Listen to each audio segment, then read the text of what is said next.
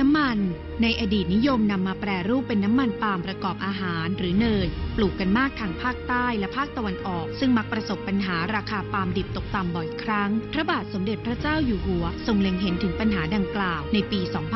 2543 จึงทรงมีพระราชกระแสรับสั่งให้ดำเนินการทดลองนำน้ำมันปาล์มกลั่นบริสุทธิ์มาใช้กับเครื่องยนต์ดีเซล พบว่าสามารถนำมาใช้ได้โดยไม่มีผลกระทบกับเครื่องยนต์ และสามารถนำมาใช้เป็นเชื้อเพลิงทดแทน โดยไม่ต้องผสมกับน้ำมันเชื้อเพลิงชนิดอื่นอีกทั้งการเผาไหม้ยังไม่ก่อให้เกิดมลภาวะต่อสิ่งแวดล้อม